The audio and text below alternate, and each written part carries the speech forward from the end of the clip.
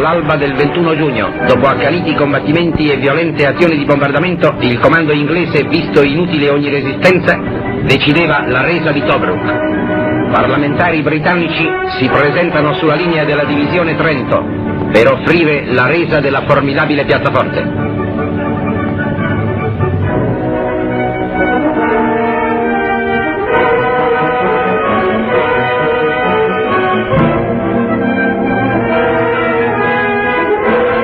Parlamentari inglesi ritornano alle loro linee con un laconico messaggio, la resa incondizionata. Da Tobruk si alzano sinistre fumate d'incendio.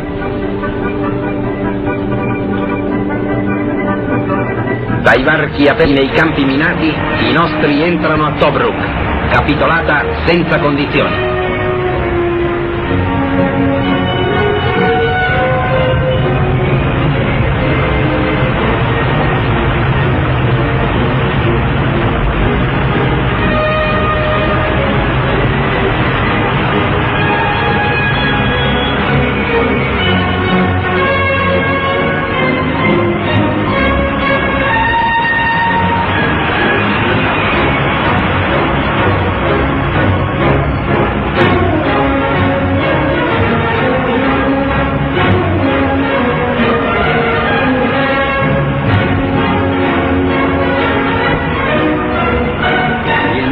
L'imprendibile Tobruk è miseramente crollato. Un nostro carro armato ripercorre le vie del porto, già testimone di tanto eroismo italiano.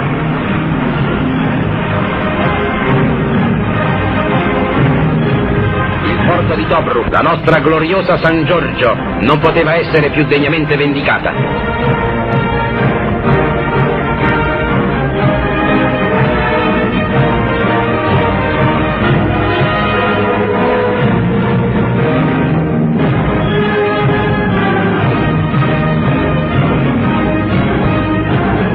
Colline che dominano la baia di Tobruk brulicano di prigionieri. Le interminabili colonne iniziano la loro marcia verso occidente, una marcia un po' diversa da quella sognata da Churchill.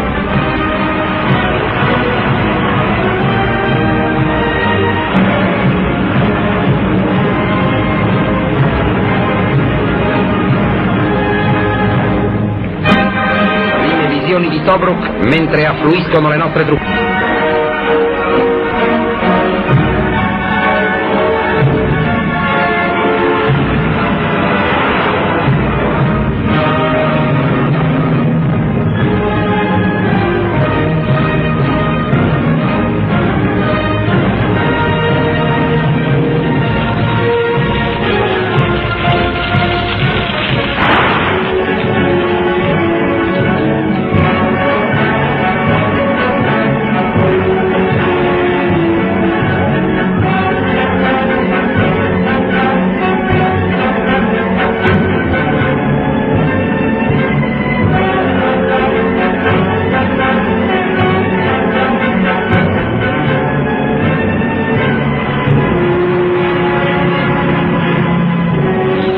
Italiani e tedeschi che in quattro settimane di Africonti hanno compiuto sforzi sovrumani, mantenendo in ogni ora e in ogni più critica situazione incrollabile fede nella vittoria e altissimo spirito combattivo, proseguono la marcia verso l'Egitto.